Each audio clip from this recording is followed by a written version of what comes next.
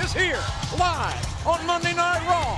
Hey, look at this! Donald Trump! Donald Trump! Donald Trump taking down Mr. McMahon! Oh my God! The hostile takeover of Donald Trump on Vince McMahon has happened at WrestleMania 23.